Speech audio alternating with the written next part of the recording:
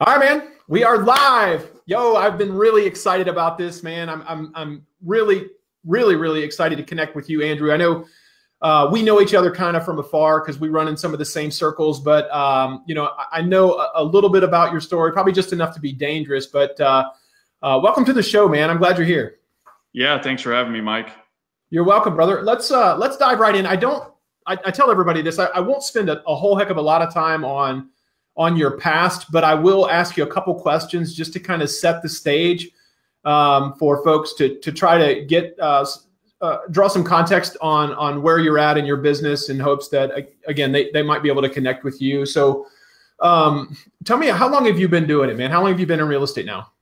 I've been in real estate uh, just shy of five years. Okay, so you got licensed five years ago, and what were you doing before you got into real estate? Uh, I was doing investment banking uh, for about six years out of college in San Francisco, New York. So mostly uh, mergers and acquisitions. Okay, and I I'm just going to take a wild guess that you ended up in real estate because of your family, right? Yeah. So uh, my dad started our team and been a realtor for uh, since '82, so uh, longer than I've been alive.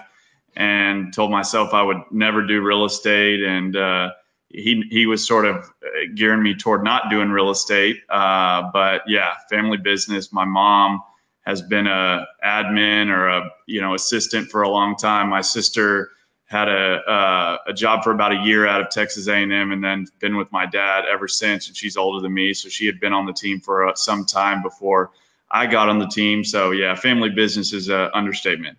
Got it. And so you you you you fought it as long as you could, right? And then and then you finally got sucked in. Um, doing investment banking, I can imagine um, that's not a boring job. Uh, it's definitely. I'm sure that kept you. Um, it kept you busy. I'm, I'm I'm curious though. What was what was the final straw that that said, okay, all right, you know, Dad, I'm going to do this. Like I, I, am going to leave my investment banking job or or whatever you were doing at the time, and and I'm going full bore into real estate. What was what kind of what what changed for you? Yeah, I mean, for me, uh, I went to college away from from Texas, where I grew up, Houston, and uh, went to college in Virginia, and then I was in San Francisco, and then New York. And so, for me, honestly, it doesn't sound that sexy, but it was a location thing. Um, I enjoyed what I was doing in in investment banking. I, I didn't really have an opinion one way or another on real estate, but I wanted to be back in Houston, uh, close to family, which is all where my family was.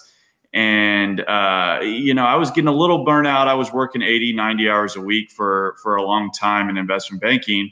I enjoyed it a lot but uh, ultimately got a little burned out and wanted to be closer to home. And so real estate was the best way to, to get a good job uh, closer to home doing the family business. And it was about the time my dad was ready to to start taking more of a back seat in the business so it was more of a timing and location thing than my desire to be in real estate, to be honest with you. Gotcha. That makes sense. And so, okay, so you, you, you were like, all right, I'm, I'm jumping into real estate. And, and well, you know, a side note is the money's not bad either, right? no, no. And, and, and, stepping into a, uh, one of the top teams in the country that my, my dad and some other folks uh, that have been with him for a long time have created, not a, not a bad uh, uh situation to get myself into. Not at all, man. So that's a great segue into it. So, so tell us a little bit about like your production in 2017 and where you think you guys will go this year. Yeah. So uh, in 17, uh, we did 629 transactions for uh, just over 220 million. Um, we were behind for the beginning of, of this year, but we are now uh, beating last year pace wise. And so we're hoping we do, we're hoping we hit 700 transactions and hoping to do in excess of 240 million. So we're on that 10 to 15 percent growth trajectory as it stands right now. Yeah. Do you think you guys got a little behind because of inventory? Maybe not so much because of performance. Uh, yeah. I mean, it was a weird for us with Harvey in Houston. Um, it was a weird. You know, we had a, a very slow fourth quarter um, as far as uh, new things coming on. And it took a while, I think, for the market to pick back up post Harvey. So sure. I think that had a lot to do with it. Uh, was market centric things related to Harvey. Um, you know, uh, performance wise, I don't. You know, we were still our agents were doing well. We had the same agent count. Um, so I don't think it was that. I think it was more market specific uh, activity. Okay. Okay. So, and you guys are back on track. It looks like you're going to uh, surpass your number. Um, how is your team currently structured? Like, how many agents do you guys have? What does your admin staff look like? Yeah, so we have uh, 24 total team members. Um, with my dad, who's not a full-on producer anymore, he's still involved uh, from a consulting perspective. We have, including him, we have 12 agents, 12 licensed agents that produce. Well, 11, and then him. Um, and then we have six or seven licensed staff, and then we have, um, you know, a receptionist, uh, a runner, a full-time runner, as well as uh, three business development reps who really focus on our, our builder relationships. So I think that's roughly 23, 24 people.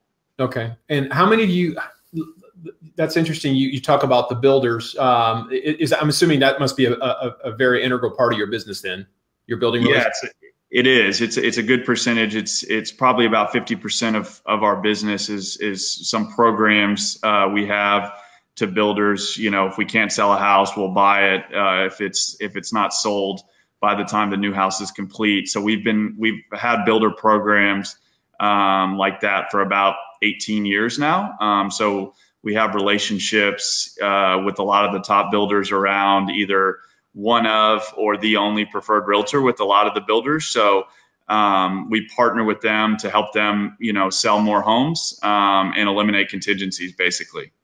Okay, that's awesome, man. And and so talk talk to me about then everybody has this is my favorite part by the way um, is is really digging into kind of the the, the logistics of uh, especially a team your size when you make a move it's like it's not you know it's not turning around a speedboat it's turning around the titanic. So there are a lot of uh, of different uh, decisions that go into making a move like this for you guys when you're transitioning from you know a remax over to an exp so i'm curious like when you guys tell me about like when you first heard about this whole idea of exp and then what what what how did you respond to that yeah i mean early, i would say it was probably a year and a half to two years ago someone sort of casually mentioned it. Um, we didn't even entertain it. I didn't know it was cloud based i didn't know there was revenue share or stock. I, I knew nothing about it. So it was mentioned to us. I think someone sent a presentation deck to us and it was one of those hey we're we're we're trucking along. We're growing uh, since we took over from my dad, and and so didn't really consider it at all. Um, didn't I, I, would say we didn't spend five minutes on on looking because we weren't really looking at anything um, from a brokerage change perspective. Um, and then you know in the last six months, nine months. Um, you know, we we really have a good core of, of agents on the team. The the business is trucking along uh, better than it has been, and we we were not really trying to fix anything uh, like we had been um, with the business. I mean, you're always trying to improve, but uh, we were pretty much you know running with you know all cylinders going, and uh, we just started exploring options on okay, what is what is our you know we we're paying about a hundred grand a year to Remax. What is that getting for us? Uh, and so we just started looking broadly speaking. We discussed uh, going independent. We discussed going other brokerages. We discussed starting our own Remax or buying one. Um, so we sort of looked at the whole gamut of stuff. And I actually mentioned this to my coach at the time, um, Fred Weaver. Uh, him and his partner Kevin Kaufman uh, run a, a, a, big successful team across multiple states, headquartered or based out of Arizona doing similar volume numbers at us. And I just, I sort of casually mentioned, hey, I'm exploring looking. And it was ironically enough, that coaching call was the day he told me, hey, you know, I just got approval. We haven't told all of our employees yet, uh, but we're moving over to, to EXP.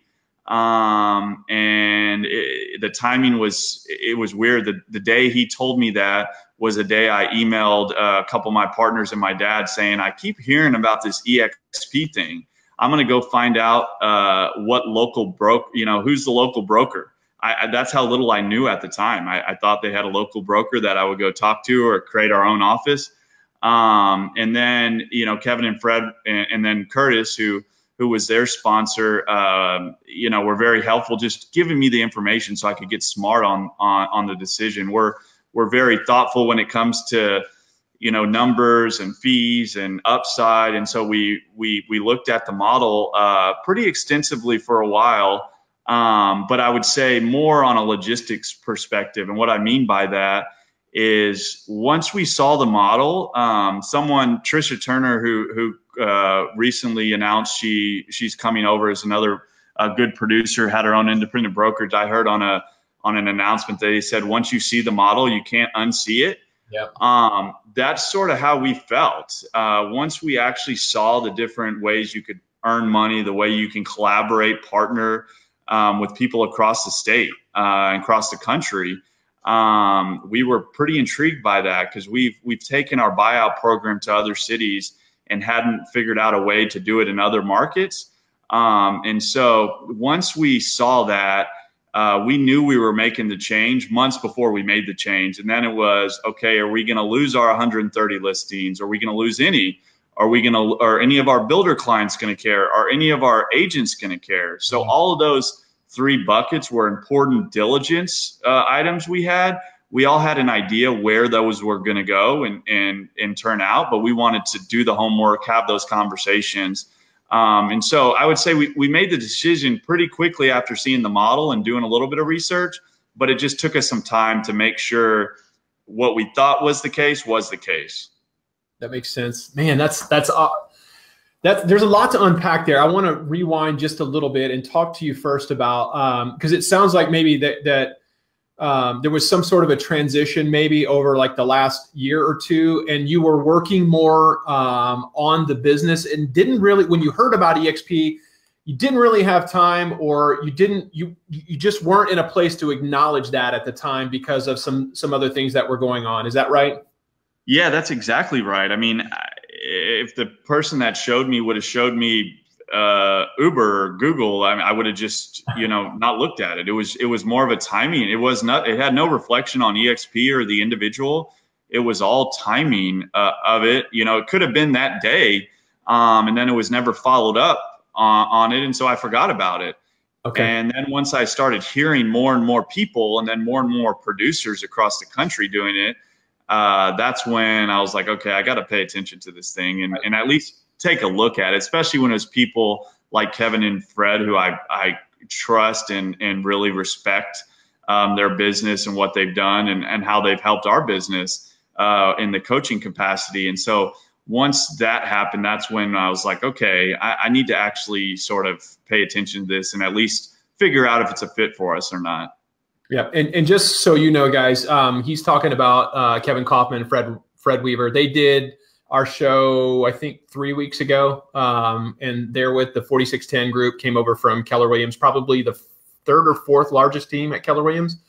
Um, but anyway, yeah, man, great guys. Um, okay, so for for you, then obviously, and then the timing became right, and then obviously you connected with Fred and Kevin through some some coaching and uh, did your did your diligence and, and got through all that. So when you guys uh, when you when you went from from you know not knowing to doing your doing your diligence and then being in the know, what what tell me about what happens at that point? I mean, you gather that your group of leadership and, and then you guys talk about how you're going to make the transition or tell me that story. Yeah. So uh, uh, initially, um, you know, now I run the business with with two partners, my sister Sarah and another partner that had been with my dad for about ten years, Andy Gleason. So we're we're now partners in the company. So the first thing I did was, you know, I remember telling Kevin and Fred, I'm like, I love this thing. I'm I'm I'm doing it, but we got to make sure everyone else is doing it as well because I'm not the only one calling the shots or, or running it. And so uh, what we initially did was, uh, you know, I tried to get them smart on it and, and show them what I showed, what I was showed and see their thoughts. I mean, we, the, the great thing, we work really well together, the three of us, but we also have different opinions sometimes. And so, you know, if they didn't buy into it, they didn't see the value, we weren't going to do it. So that, that's the first thing we did was, was make sure the four of us, my dad included, thought it was a good idea. My dad has been with Remax for 30 years. Yeah. Um, we were very, very happy with our brokers. We love them. We're friends with them to to the to this day. Um, but we were we were there with them for 10 years in, in, in that specific Remax franchise. So once the four of us were on board, it was more confirming that our builder clients wouldn't care, and our agents were on board. Um, so it was really confirming the people that matter to our business, our agents, our builder clients were okay with the change, and they were more the Franklin team rather than the Franklin team at Remax. Um, so we wanted to, we thought that was the case, but we wanted to confirm that. Once once we confirmed that with our biggest builder clients and our uh, our agents on the Franklin team, mm-hmm. we were full steam ahead from there. Then it was just switching licenses over, getting logos changed, you know, marketing stuff. But um, those were the two biggest items for us. I think it's unique to everyone's business. What's important to them? What's important to their business? The last thing you want to do is have a big business change a brokerage for the upside and your business go from 600 deals to 300 deals. Yeah. So we wanted to make sure that was not going to happen before we made the change. And of our 130 listings, every single one transferred over. Mm-hmm. Um, not one builder client cared. As a matter of fact, some didn't even know we were with Remax, um, and we had been their client for for like 15 years. A couple of them, we made the told them we were going to EXP, told them a little bit about the model, and they said, "That's fine. We're as long as the programs and the relationship is with you guys." Um, are you guys leaving Remax or Keller Williams? A couple of them, no jokingly, said that to us, and these were these were relationships that we've spent a long time with. That they knew us intimately, and they didn't know where our brokerage sit sat. So once we confirmed that, it was a pretty big deal for us. That we knew that it wasn't going to affect our business. We were going to continue to grow if we did the same things, and it it wasn't Remax. It was it was more what we were doing. So isn't that interesting? It's like, and we have this conversation with people all the time because, you know, if you think about it, I mean, consumers they really don't do business with with the brokerage; they do business with us, right? I mean, they when you when you go to a listing appointment, if you're sitting down with a with a seller, uh, you're not you're not telling them unless you're a new agent what your company did you're usually telling them either what yourself or or or your team did right it's and sure and I always ask, I say, you know, if you went back to, let's just say your last 10 clients, right? If you went back to your last 10 clients and you asked them what company you worked for, how many of them would, would be able to tell you the answer to that question? And, and you just, you just confirmed it, right? Most of them could not tell you the answer to that question because they did business with you. They didn't do business yeah. with, you know, Keller Williams or Coldwell Banker or Berkshire Hathaway or any of those companies. They did business with you. So I'm happy to hear you bring that up because I think that you know that's been that's been obviously something that other agents have brought up well i've never heard of exp or what if, what if the consumer's never heard of exp so you know you just you just kind of confirmed that for us um, another thing i wanted to ask you about is uh, so th- when this decision is made in the leadership group and, and it sounds like you know um, you guys are very proactive. In other words you don't waste a lot of time. If you find a good idea you're you're you're all about implementation. So when this idea comes in and your leadership group comes together and you guys make the decision how did you approach like the team? Well we we uh, we have uh, agents across the city and it's it's hard to get them all. I mean they're all good producers i mean we we really have uh, uh, of the 11 of us that are producing everyone is busy and producing and, and not struggling to to make it work and so um, it's tough for us to all get in the same room. A couple people were on vacation, and and so um, we did individual phone calls uh, with with each agent. Love but it. for us, the opportunity was uh, the one of the one of the selling points for us was that EXP was rather unknown. Um, because we saw the model and and we sort of saw the writing on the wall that this is going to get big it's not a matter of if, just when. And so you had my dad chirping uh, us in the ear, like, you better get going. This is going to take off. And, and we want to capitalize on, on getting some of those people over uh, that may not have heard of it. And so once we made the decision, it was like, we better hurry up because at, at least in Houston, um, it's relatively small. I mean, there's 40,000 realtors in Houston, and, and there's, at, at, least at the time we went, maybe 300 EXP agents.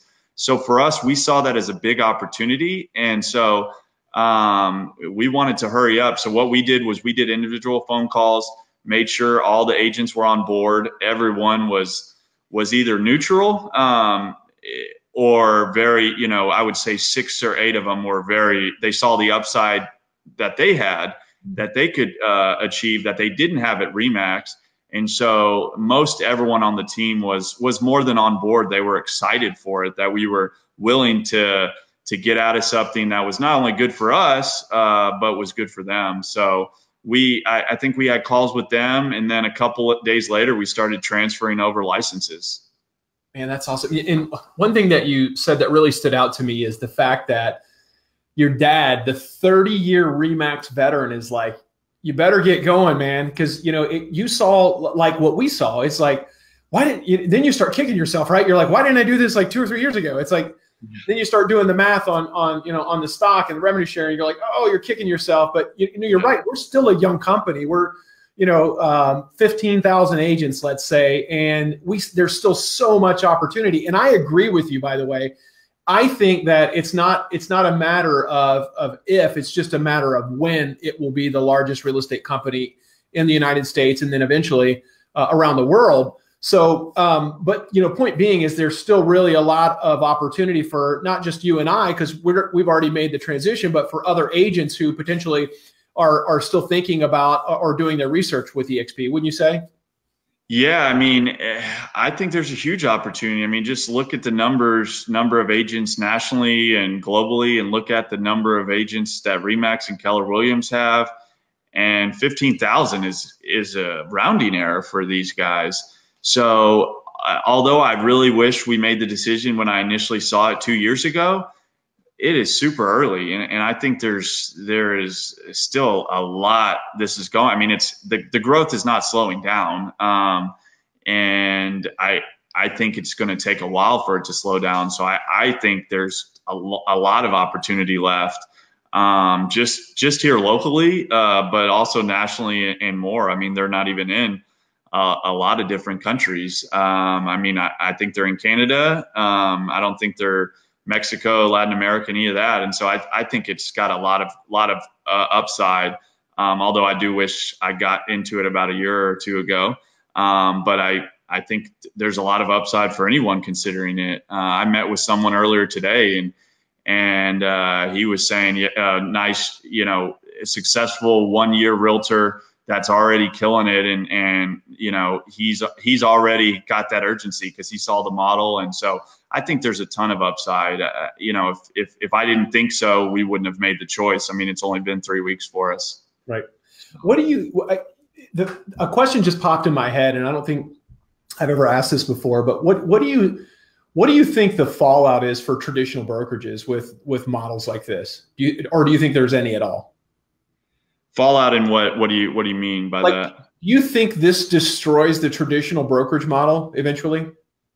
I, I mean, I've I've been saying this to people. Uh, I think the only way to compete with this is if someone wants to be at a discount brokerage and they're so fixed on paying $100 a fee.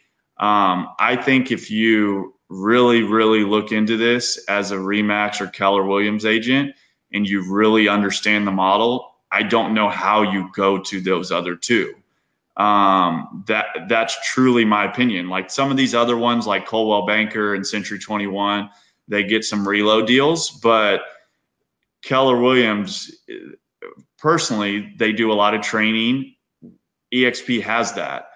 Uh, the brand, the balloon that Remax has, I don't, I don't think that really matters. To be completely, uh, we loved Remax, we loved our local brokers but switching over 130 listings and not one person caring, it's not the balloon that matters. So I think if someone really dives into this as a Remax or Keller Williams agent and, and is objective and will actually listen, um, I think it's a no brainer, honestly. And I, I, I do think unless those models change, and I don't know how they're going to change because they're so committed to the brick and mortar model that they have because a lot of these local owners have leases or ownership. And so I don't know how they stop that.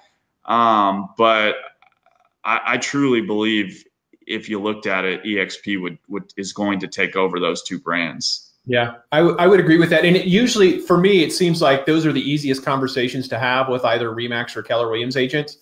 I don't, I, have not quite figured out why people, um, Why people continue to go to traditional brokerages like a Coldwell Banker or a Berkshire Hathaway and pay the type of money that they do. I mean, you mentioned uh, uh, they some of those companies do some relocation, um, and, and, I guess that that would be a reason to do that. But I mean, these company, these relocation companies now, I mean, by the time you get paid, you're at like twenty five percent. You know what I mean? Because uh, they just take so much money from you. Uh, yeah. Any idea why people choose to stay at traditional brokerages after after seeing models like a Keller Williams or an EXP? I think it's easy, just like anything else. Uh, it's easy to stay where you're at. It's easy to uh, continue doing what you're doing. It, it, was, I mean, it was hard. It was hard for us to change over 130 listings. I mean, it took us two or three weeks, so it wasn't that hard. But there was a lot to do in those two or three week period, and there was, uh, you know, some expenses, not a lot. And so I, I think that's it. And, and I think honestly, uh, there might be some chatter or some, you know, uh, issues out there, and so people won't even listen to the model. I know that's how Kevin Kaufman and Fred Weaver were. They they heard so much chatter um, that they didn't really look at the model. Um, so I and and that was the case for us. I, I got it shown to us, and we didn't look at it. So I think if there are people that are open to it, um, we weren't we weren't unhappy. I, I don't want to say we were unhappy at Remax at all. It was just about what upside did we have.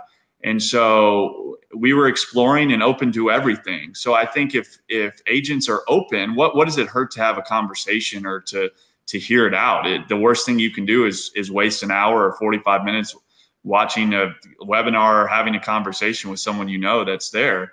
Um, and, and, that's sort of how we look at things. We'll always take a meeting with a lender or a title company or, or, or whatever um, because we're always willing to learn something. Um, or we don't want to pass up on an idea like this. So we're we uh, take the approach of we're gonna we're gonna look at everything that someone presents if it seems interesting. But I think a lot of agents don't do that. Yeah, I would agree with that. And then also, I mean, for you guys especially, you um, it makes sense for somebody, especially in in in, your, it, you guys have just but with your production and and and your consistency and your um, you've created influence. You know what I mean? That that creates influence out. It has a ripple effect out into the marketplace. And so I think by just by nature, people are people become curious when somebody like you guys makes a move and they inherently want to ask questions. And who better to go to, you know, than than than you know than you guys because you know you were actually the ones that you know went through all the hardships or or any challenges and and then did your uh, due diligence so you, you, guys are naturally i mean you're attracting people. Are you finding that people are calling you now? Or they naturally are just act, asking questions because of the influence that you have in your marketplace?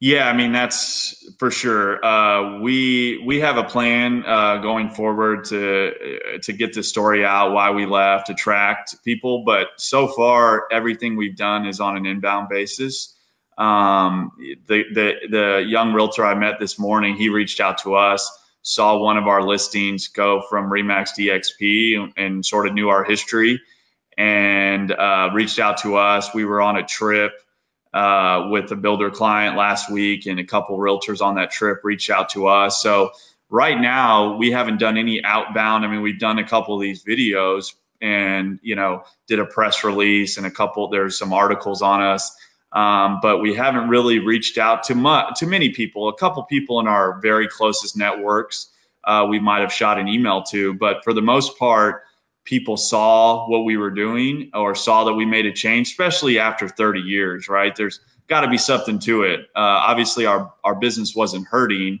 Um, so I think it was it was a lot about our story, why we would move, and so yeah, I mean we're getting a lot of of inbound interest and questions, which has been great Um, it, we've enjoyed that a lot, uh, but we we do have plans to to get the story out more. But we're still about 98% done with the transition. So uh, you know we haven't put a lot of our plans in, in in order yet. We haven't done an event or party or lunch and learn or anything like that. So yeah, what is what does revenue share mean to you and your agents?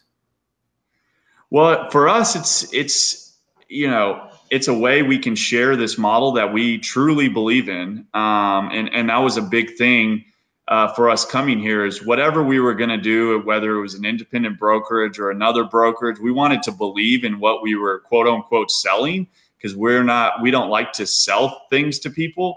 Um, we like to explain what we saw in it, and maybe it's a fit, maybe it's not. And so the revenue share, from one perspective, is showing something to agents of how they can get another income stream. Um, it's not completely passive because you're having conversations, but if you're selling real estate, you're having those conversations with people anyway. You're talking to realtors on a daily basis.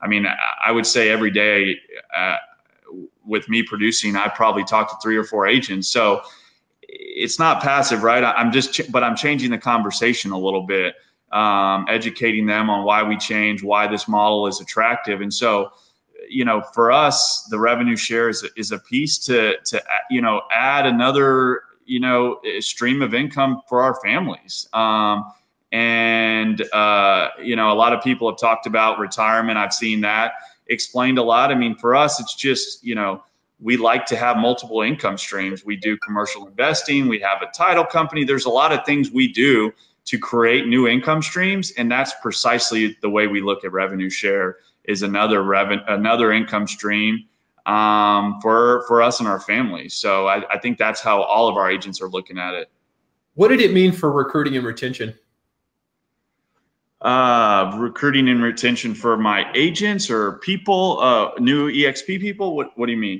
I mean, for like, what is like the revenue share piece for us, and I would assume you guys probably thought through this as well. It was it was an additional layer um, for us to add in that um, that it also had a ripple effect. Not only did it create an opportunity, like you said, for them you. to create passive income, but what did it do for the team? Right? What you offered them something that you couldn't offer them at Remax, correct? Yeah, no, I think uh, yeah, and and and that's why I sort of mentioned that like six or eight of the people who are, are buying into six to eight of our I guess eight that are are not in, in leadership. Uh, they saw it as a very good thing, and they are excited about it.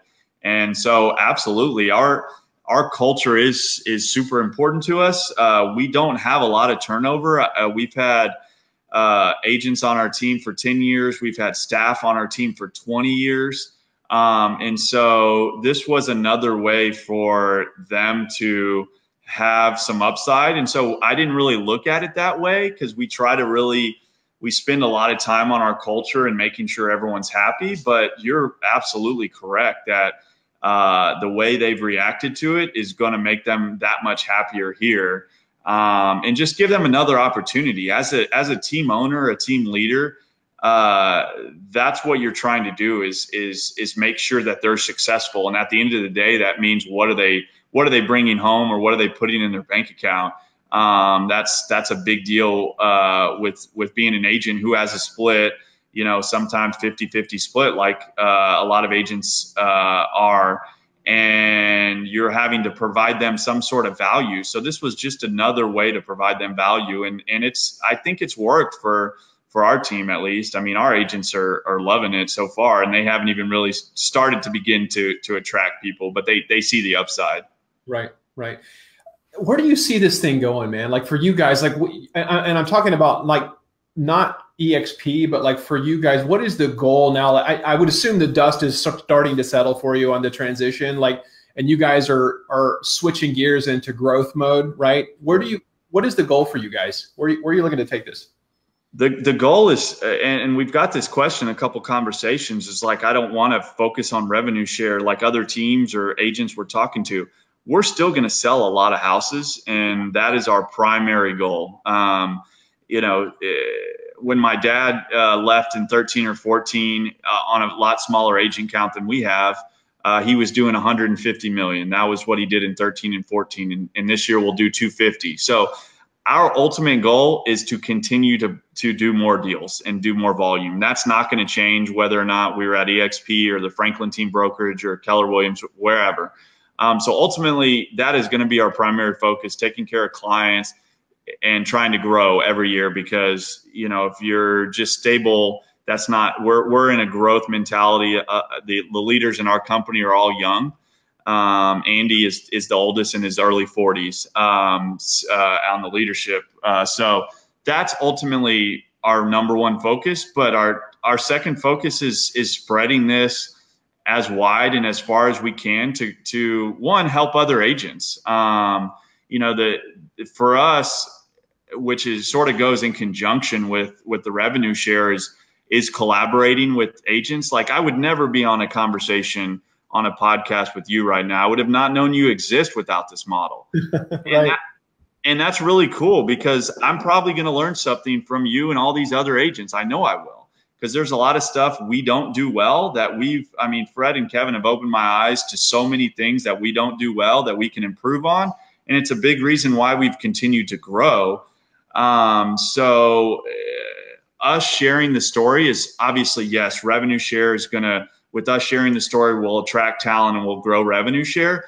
But it's a lot more than that. It's collaborating, growing our business, helping younger agents uh, grow their business. And I and I think this model is so unique that it allows us to do that. So, you know, those are our two big things that we're still going to focus on is is talking about this model, doing stuff like you're doing. I think it's great that you're doing this, um, but also our number one goal is to continue to sell houses, and, and, and we're gonna we're gonna do that. And you know what? There's the, the great thing about that question is there's really no right or wrong answer. The fact that you know you said our focus really is still to go out and sell you know uh, as many houses as we can. You know what I mean? And and then the the great part about revenue share and and uh, company stock is it's all just a bonus, right? You were just selling real estate at Remax, and I was just selling real estate at Keller Williams but we added in these two components that we didn't have before. We never knew what type of impact it would have, not only on ourselves, but on the people that work so hard for us on a daily basis to, you know, to go out and generate leads and, and, and, and listings and buyers. Um, so it's it's truly been a life changing, I, I, think, uh, event for us, and it sounds like it's had a great impact on your business as well.